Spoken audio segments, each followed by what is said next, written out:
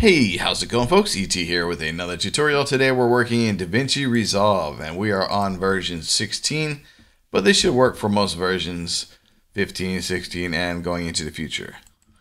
Okay, the topic of this tutorial is how to delete audio out of a video.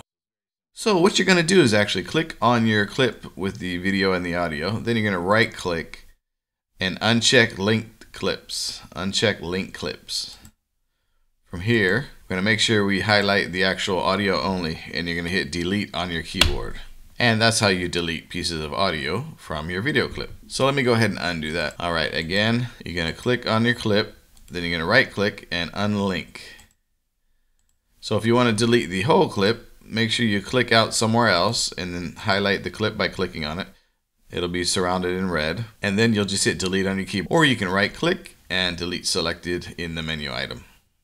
Okay. Okay, now let's say you just wanted to do a piece of the audio. You're going to grab the razor, figure out where you want to chop it.